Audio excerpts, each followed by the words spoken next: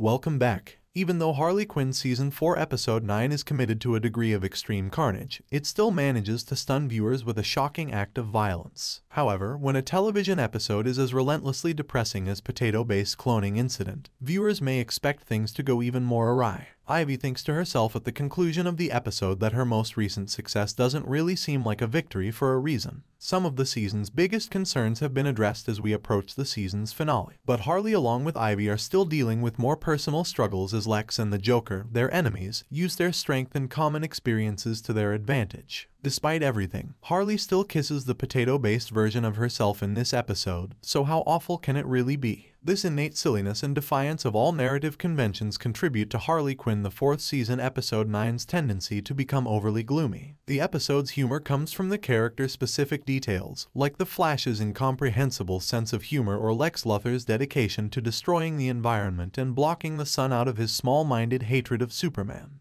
The episode is wrapped in an oppressive gray since the sun is absent, and this affects more people than just Superman. Ivy's abilities are also diminished as she must rely on mingling and small talk to persuade Lex to undo what he's done while the apocalypse rages on all around them. Ivy's dedication to the joke results in a comical demonstration of unintentional strength while playing golf, as she kills a man she's attempting to win over not just once but twice in an attempt to one-up Lex. Ivy's personality can be grating at times, particularly when she ignores Harley, but her tendency to become petty in order to win is a humorous character trait that adds depth to her outwardly calm appearance. The scenes between her and Lex are also a sweet little reminder of Harley Quinn's general contempt for powerful men. The series takes great pleasure in portraying individuals frequently referred to as superheroes or criminals as whiny, irritable, social climbers, from Batman to Gordon, the Commissioner, to Lex Luthor. Ivy's efforts are successful, but she doesn't feel triumphant as she sees Lex board his rocket ship fly off to his planet and hide out until the sun breaks through the clouds, as Harley discovers through her clone, whom she hasn't been hallucinating, that she is, in fact, the person who killed Nightwing. It parallels her own growing remorse and emotional turmoil. The information is hardly shocking. There hasn't been much doubt that these acts will have consequences because we've seen her experience violent sleepwalking episodes throughout the season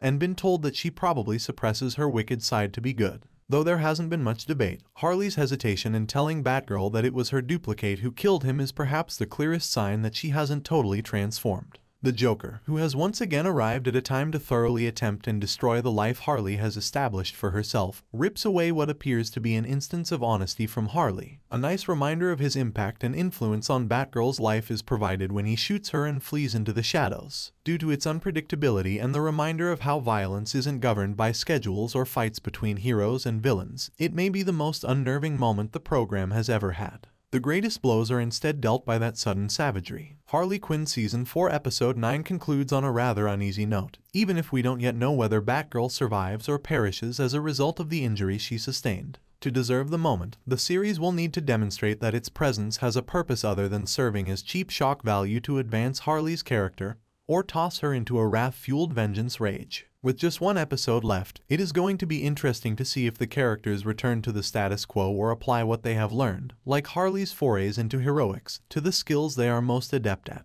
Season 4 has been an experiment in seeing how far these individuals can push toward their own natural instincts. See you eventually on another engrossing review. I hope the video is enjoyable. Please don't forget to like, comment, and subscribe for more videos. Thanks for watching.